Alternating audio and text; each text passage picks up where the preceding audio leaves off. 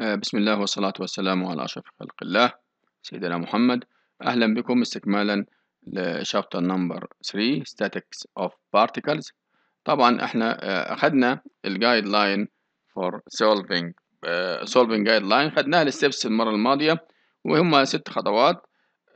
إحنا بنوجد find external forces وبعدين find external torques وبعدين set the net forces equal zero set the net torques equal zero وبعدين choose the pivot choose a pivot اوجد يعني اختار المحور المناسب. ثم آه، في الآخر خلاص إحنا solve to آه، for to unknown quantities. إحنا بنحل المسألة عشان نوجد الكميات الغير معروفة. لكن هي برضو حاجة مهمة لازم ناخدها في الاعتبار إن it is generally simpler to choose the pivot من السهولة إنك أنت تختار المحور at the point of application of the force for which you have the least information. عند نقطة تطبيق قوة. تمام؟ بحيث يكون اللي يكون عندك أنت عندك أقل معلومات the least information. إحنا هناخد مثال لهذا الكلام ده كله. ال example أول example هو عبارة عن ال leaning ladder اللي هو عبارة عن السلم المائل ladder اللي هو السلم المائل. وكل مسألة طبعا لها هدف. هنشوف إيه الهدف بتاع المسألة. هناخد كم مسألة إن شاء الله على هذا الباب اللي هو statics of particles. At what minimum angle can the ladder lean without slipping?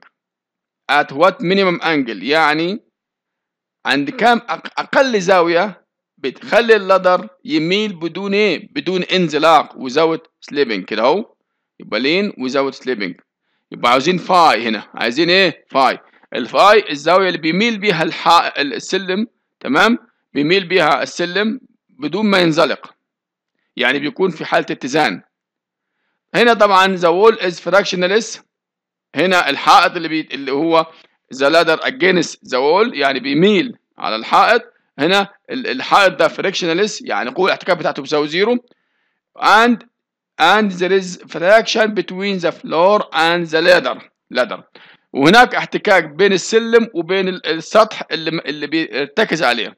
تمام؟ السلم بيرتكز على نقطة ارتكاز هنا أهو وهذا السطح. وهناك في قوة احتكاك هنا ادي قوة احتكاك برمز لها مثلا بالرمز F.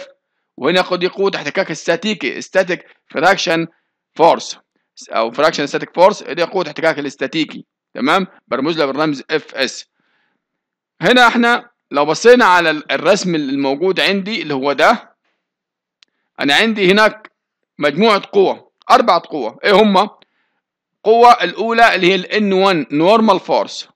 تمام؟ ممكن يكون الشريحة الثانية. تمام؟ بتوضح الكلام ده؟ أهو. اولا دي الفورسز. Normal force at bottom of ladder. قوة هي normal force اللي هي ال N1 اهي N1 N1 normal force at bottom of ladder يعني قوة رد الفعل العمودية الموجودة عند مين؟ عند أسفل السلم. تمام؟ ال friction ال friction force friction force at bottom of ladder برضه قوة الاحتكاك اللي هي ال fs أهي قوة الاحتكاك الاستاتيكي. fs أهي. وطبعا برضه قوة رد الفعل عم إيه؟ كمية متجهة. تمام؟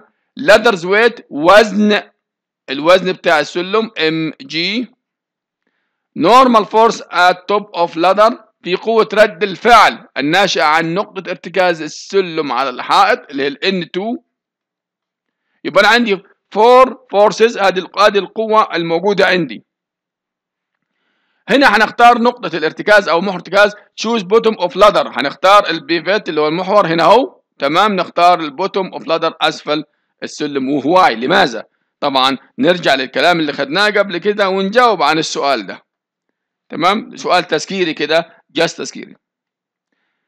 هنبتدي نطبق بقى. إحنا عشان نجيب المين عشان نوجد ال minimum angle minimum angle due to ladders weight طبعا ال torques هنا ال ال ال ال ال ال العزوم الإزدواج هتبقى بسبب إيه؟ اولا due to ladders weight ناشئه عن اللي هو وزن السلم اللي هو mg due to normal force at top of the ladder وبرضه قوة رد الفعل العمودية اللي هي N2 الموجودة عند قمة السلم عند نقطة ارتكاز السلم على الحائط.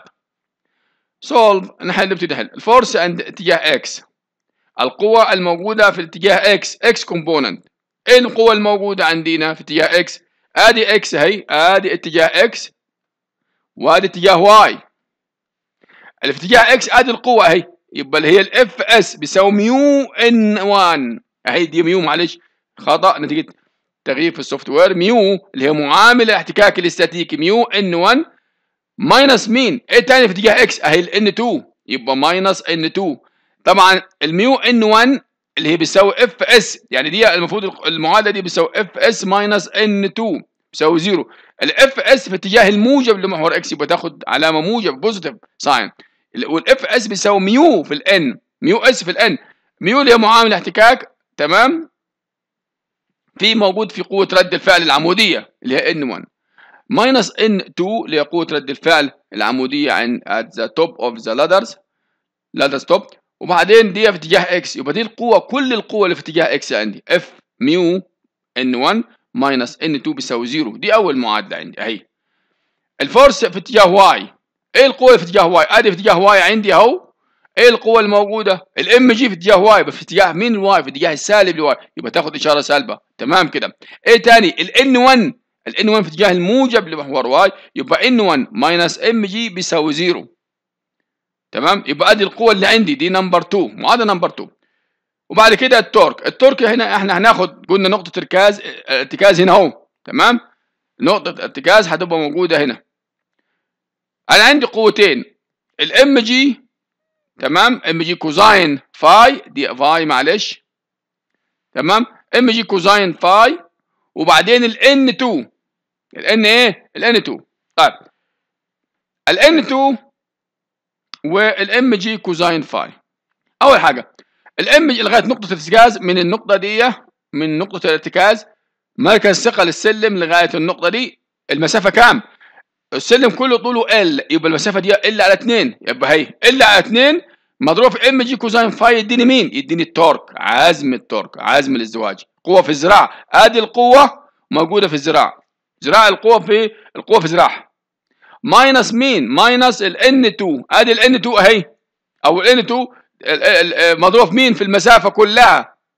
لو إحنا خدنا المسافة طب دي المسافة كام؟ إيه المسافة؟ من ادي لو إحنا مدينا القوة كده المسافه لغاية هنا كام؟ أهي. دي phi لأن طبعا بالتبادل بالرأس دي phi هنا phi. تمام؟ المسافة دي هتساوي كام يا شباب كده أهو؟ مقابل المسافة دي تعتبر هي مقابل للزاوية. طب والزاوية كام يبقى نجيب sine phi sine phi يساوي المقابل اللي هي المسافة العمودية اللي أنا عايز أعينها مثلا خليها مثلا دي على الوتر. الوتر هو مين؟ L تمام؟ يبقى دي في هذه الحالة اللي هي المسافة العمودية بين ال N2 ونقطة الارتكاز بتاعة المحور دي بيساوي دي بيساوي L sine phi أهي L وادي sine phi أهي. مضروب مين في القوة اللي هي ال N2 يبقى L N2 sine phi minus L على 2 L divided by 2 mg cosine phi بيساوي 0 دي عبارة عن القوة اللي عندي تمام؟ دي ال torque بتاعي بقى. From the force equations we get طبعا هنا إحنا لو لو بصينا هنا ال N1 بيساوي مين؟ ال N1 minus mg بيساوي 0 أهي تبقى هنا تاني مرة تاني N1 minus mg بيساوي 0 وإيه تاني؟ وال mu N1 minus N2 بيساوي كام؟ 0 mu N1 minus N2 مش كده؟ mu N1 minus N2 بيساوي كام؟ بيساوي 0 طيب السؤال إحنا إزاي إحنا ال N2 بيساوي mu ال N اللي هنا ال N2 بيساوي mu N1 صح؟ من المعادلة دي كده؟ ال N2 بيساوي mu N1 طب ال N1 المعادلة اللي فوق تساوي كام؟ N1 بيساوي جي يبقى يبقى على طول m ال N2 بيساوي mu g عرفنا خلاص. إزاي ال N2 بيساوي mu g خلاص من المعادلات اللي خدناها قبل كده. في هذه الحالة إحنا بنبتدي نعوض ال m sine phi minus L cosine phi بيساوي zero من المعادلة اللي قبل كده أهي L N 2 sine phi minus L على 2 mg cosine phi بيساوي zero. يبقى في هذه الحالة ال m sine phi بيساوي minus L.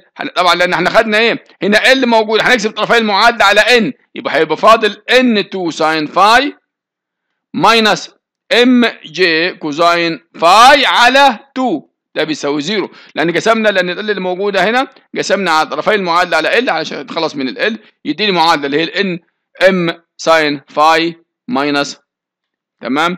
ال N2 طبعا خلاص إحنا بميو في ال N1 في هذه الحالة نقدر نقول إن التان فاي بيساوي واحد على اتنين نص واحد على اتنين ام وبالتالي دي دي عبارة عن إيه؟ ده الإجابة بتاعتي. minimum angle minimum angle هتخلي السلم ده في حالة اتزان وزاوية slipping